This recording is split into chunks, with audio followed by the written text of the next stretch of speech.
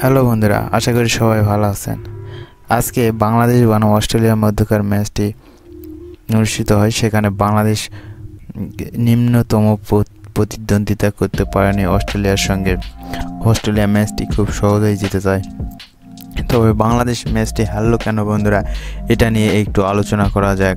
প্রথমত, বাংলাদেশ খারাপ খেলছে। বাংলাদেশ ব্যাটিং, বলিং দুই ডিপার্টমেন্টেই ভালো করতে পারেনি আজকে। আজকে উচিত ছিল এই ক্রিজে বাংলাদেশের ব্যাটসম্যানদেরকে দায়িত্ব নিয়ে ব্যাট করা। বাংলাদেশের ব্যাটসম্যানরা তেমন কেউ খুব দায়িত্ব নিয়ে ব্যাট করতে পারেনি। পাশাপাশি অস্ট্রেলিয়ার বলাররা অসাধারণ বল করে বাংলাদেশের ব্যাটসম্যানদেরকে আটকে দিয়েছে।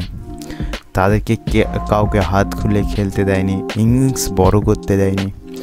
এটাই হচ্ছে অস্ট্রেলিয়া।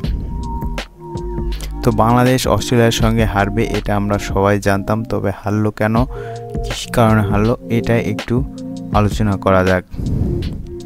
বাংলাদেশ প্রথমে টসে হারে, টসে হেরে ফিল্ডিংয়ে নামে। তো বন্ধুরা, বাংলাদেশ যদি ফিল্ডিং আগে যদি ফিল্ডিং করতো, তাহলে বাংলাদেশ একটু ভালো করার চান্স ছিল। যেহেতু বাংলাদেশ টসে হেরছে, তারা আগে ব্যাটিং ব্যাটিং ব্যাটিং করছে। ব্যাটিং করে বাংলাদেশ একটু ওখানে একটু পিছিয়ে গেছে। এছাড়া বারবার বৃষ্টি বৃষ্টি হওয়ার কারণে ম্যাচটা বাংলাদেশের ব্যাটসম্যানদেরকে আবার হচ্ছে নতুন করে সব কিছু শুরু করতে হয়েছে। বৃষ্টির কারণে অস্ট্রেলিয়া বলাররা একটু অ্যাডভান্টেজ পাইছে।